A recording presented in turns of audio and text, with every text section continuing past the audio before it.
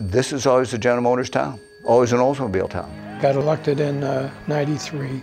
Get a knock on my door one day from Vice President of General Motors, and he said, I got some good news and I got some bad news. We're going to be launching this 100 year birthday of Oldsmobile.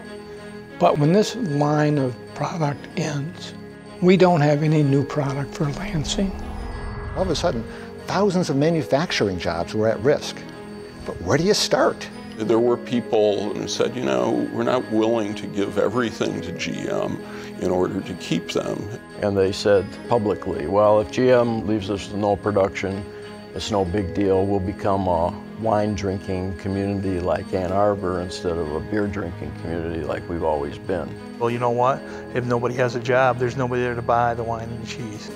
Manufacturing, they say, supports between seven and 10 jobs within the community, so it means everything to this city. The mayor's approach to it was we need to take this public, not to fight with GM, but fight for GM. My goal is for General Motors to build its new assembly plant right here in the heart of our city, and I commit to doing everything in my power to make that happen.